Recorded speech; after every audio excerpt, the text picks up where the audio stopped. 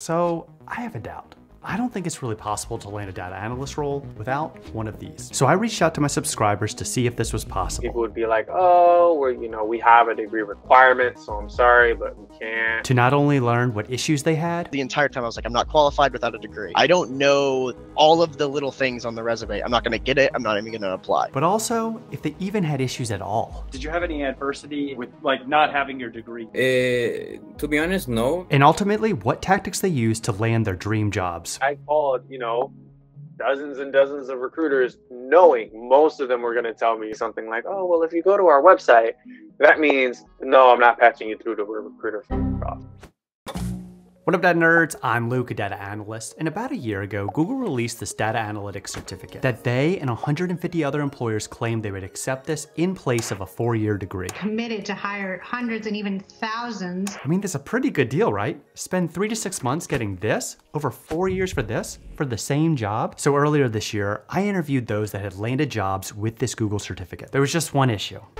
All of these individuals had degrees. Not degrees related to data science, but degrees nonetheless. This had me questioning whether it was really possible to land a job in this field without at least having a degree. So I wanted to be proved wrong. I reached out to the data nerd community in order to find out the education level of those that landed jobs in this field. And to my surprise, over 20% said they didn't have a degree. That's one out of five data nerds. With this, I then reached out to some volunteer subscribers that wanted to share their experience in landing roles in this field. Let's start with Alex to understand what they were doing before they landed their first roles as data analysts. After high school, I, I was in the military for six years. And from there, I was working. Uh, I was working at Lowe's, and I knew that I wanted to work in tech. next is Jordan. So after high school, I didn't really know what I wanted to do. After trying a semester of school, decided to go back and work full time. I was working at a fraud department for a bank. Then there's Guilherme from Paraguay. Uh, I major in a CS degree. who had previously run into issues with finding learning resources in his native language. When I was like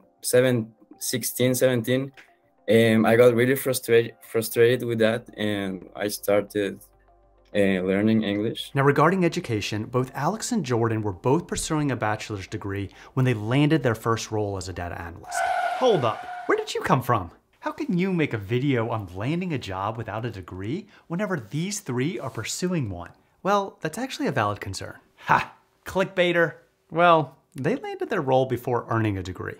And as we'll come to find out, having a degree only helps so much. Oh. But I was able to find a data nerd with no connection to higher education. No college, no degree. Uh, I'm gonna leave now. Thanks to the data science king, he ended up putting me in touch with Sergio. You're working as a warehouse worker and now you've transitioned into a data analyst role. That to me is so cool. So I reached out to Sergio to get his transition story. I was there for three years and the pandemic hit, and there were two of us that were pretty interchangeable. And uh, well, I got interchanged out. So this all leads into the first major topic to explore. Was there any difference in experience from those pursuing a degree versus, well, Sergio? Let's hear Jordan's experience first. I started going to school online part time while I was working. Fit really nice within my schedule, so I didn't have to like quit work and then go to school. And for Alex, this had some benefits during the job search. I it helped that I was back in college because you know you can put bachelor's of data analytics on your resume, and then you can put like a little currently enrolled. But that'll get you past a lot of those automatic resume screeners. They just you know look for if you don't have a bachelor's, then you just get thrown out nine times out of ten. And for Guilherme, a full-time student, he actually found a need to fulfill. Did you have any adversity with like not having your degree? To be honest, no, because um, uh, here in Paraguay, when in terms of tech related jobs, they usually ask ask for like a person that's doing like a CS re- related degree. But then Sergio, with no higher education, had a completely different experience. All through school, that's what all everybody told me was to go to college. Your life's going to be terrible if you don't go to college because college is the thing. And it's like, why necessarily? And because of this, he experienced some tough conversations during the job search. People would be like, oh, we're, you know, we have a degree requirement, so I'm sorry, but we can't. Or, you know, I like what you're trying to do, but like I would consider going to get a degree because, you know, you can only get so far without one. So, not really to my surprise, those that were in school had a clear advantage. But in Sergio's case, he would turn this disadvantage into an advantage, as we'll soon find out. But even before this whole job search, where was everybody going to learn the skills that they needed to know in order to become a data analyst? Were they using school exclusively or were they using other resources instead? YouTube content was my number one. Uh, school was a very big second in terms of knowledge gained.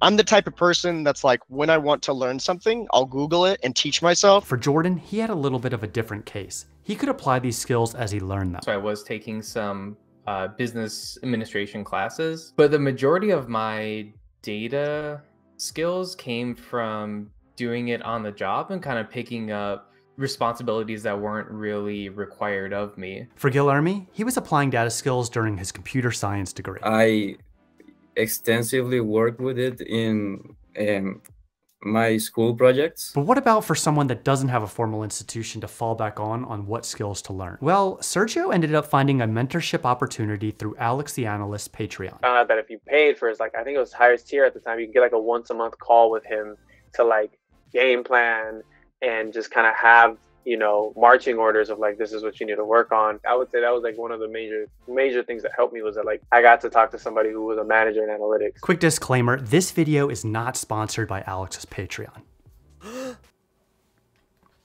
So, where was everybody going in order to learn the skills that they needed to know to become a data analyst? Whole learning what to learn was a big factor. I looked at a lot of the requirements that was on uh, or that were on data analyst and data scientist resumes, and then started researching those specific topics. Which is a common approach used by all. So, in his case, he learned Tableau and Python, whereas others, When I got hired, I only knew SQL and, and Excel. I was using uh, actually exclusively Excel. and the SQL and Excel combo was a commonality amongst them all. the dumbest thing i did was i was like oh well i know enough sql i'll you know learn the rest on the job because how hard could it be we're telling alex ah they'll just pay me to learn the rest if it's that important alex is kind of like okay Yeah. man if that's what you really want to do But interesting enough, this approach of learning on the job was very common. I learned most of the skills that I know right now on a need basis. I don't know a lot of the skills that are required to do my job every day, but I'm very good at learning how to do it quickly. And so I think it's not only important to understand the basics, but also the ability to learn quickly. Be like your boss not gonna be right behind you while you write the sequence. No. Like, No, You're oh, you typed you typed something wrong there. You- You're out. That's it. We're gonna hire the next guy that can put the, the comma in the right spot.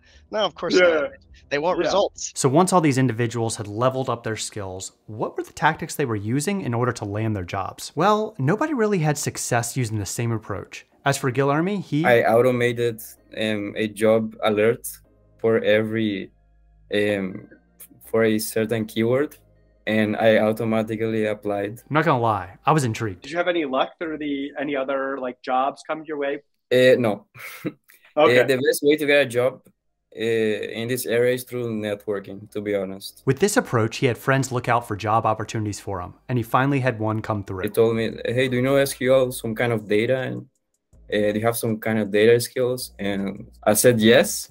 To be honest, I didn't really know a lot, but I applied anyways. And he ended up getting hired on as a data analyst for a major bank in the area. For Alex, he was having a lot of doubts when he was starting out on the job search. I had applied for like a year, just like of random things that looked perfect. The entire time I was like, I'm not qualified without a degree. I don't know all of the little things on the resume. I'm not going to get it. I'm not even going to apply. Maybe I sent in 10 applications over the past year. And then I was complaining about, you know, being at the same job and not getting anything. So he decided to reach out to a friend that he considered to be his mentor. He is the type of guy that'll just apply for any job. He'll just do it. He just jumps in. And this mentor motivated him to make a change in his approach. So he went on a resume sending application, like just throwing applications into anything that said data analyst or data scientist, anything. And I got like four or five replies very quickly. In his case, with his Tableau skills, he was able to turn one of those offers into a full time role as a business intelligence analyst. Alex and Guilherme ended up using some proven approaches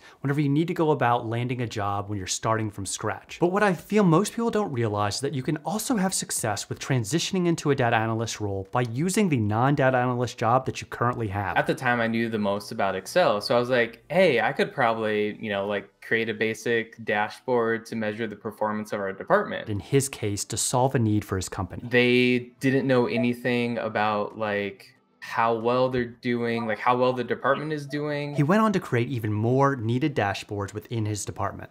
Because of this, he became the go to data nerd. it was just kind of me going above and beyond what I needed to do at work and showcasing my experience that kind of made me stood out and made them want to bring me on. Following this, his company created a new department to monitor fraud, in which he was hired on as a data analyst. Now, moving into this last tactic, Sergio used an approach recommended to him by Alex the analyst. You're gonna need to start reaching out to recruiters. And I was kind of like, what does that mean? He was like, just call them. Like, there are people who like place you in jobs. Just call them. I would just call and like try to get to a recruiter and I would just kind of say like, all right, well, I'm looking to get into data analytics, and I would just love any job that can kind of you know help me build those skills. Sergio would go on to create a spreadsheet full of recruiters and call them on a weekly basis. I, I had a recruiter eventually just had something for me, and this was for a support analyst role which his first thoughts were Wait, I want to be a data analyst. Why'd you send me this? But he ended up taking this job to get his foot in the door. And from there, he took a similar approach to Jordan. I turned every excuse possible to use SQL into a reason to use SQL while I was there. So if somebody was like, hey, I need information on transactions with these codes. If I saw a ticket, I would just snatch it up, even if I didn't know how to do it. And this experience would eventually lead him to landing a data analyst role at PayPal. I had six months experience of that. The door was open. So you, uh, so you proved Alex wrong then. You learned SQL on the job then. I uh, did. I got really lucky with that team, though. So, going through these interviews, I feel like I was proven wrong. In that, I do think now that you can land a job as a data analyst without having a degree.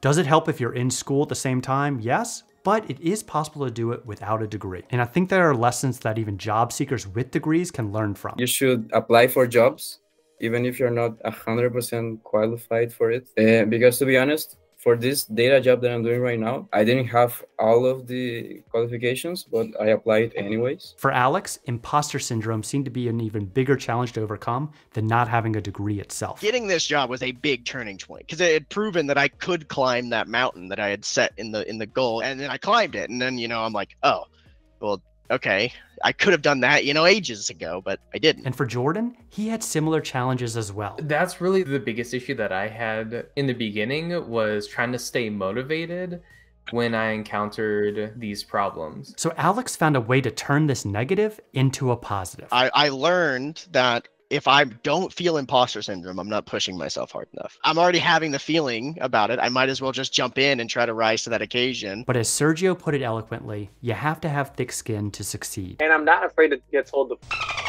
I, I always took it as a numbers game. I, I called, you know, dozens and dozens of recruiters, knowing most of them were going to tell me something like, oh, well, if you go to our website, that means, no, I'm not patching you through to a recruiter. And he makes this great final point to help you stand out. It's a lot of it is just just human to human, man. It's a lot of like people will make irrational decisions because they like you. Because there's nothing rational about hiring to do with no experience and no degree. Story is what got me there, not my resume. All right, so thank you to the interviewees for help with this video. One last note, I'd love to have some females' perspective on this topic. I tried to actually reach out to a few for this one, but it ended up not working out. So if you fit this, check out the poll below so we can do an upcoming video for it. As always, if you got value out of this video, smash that like button. If you're interested in seeing the interviews that I did with the Google Data Analytics certificate holders that landed jobs, check out this. With that, I'll see you in the next one.